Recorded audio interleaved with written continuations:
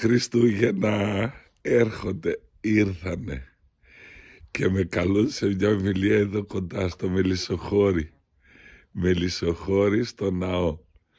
Τρίτη 20 του μηνός. Ο Παπαδημήτρης, υπέροχος Παβούλης, φίλος μου, με καλεί εκεί το απόγευμα να κάνουμε μαζί το ευχέλαιο στις 5 η ώρα και μετά μου λέει θα πεις και μια ομιλία.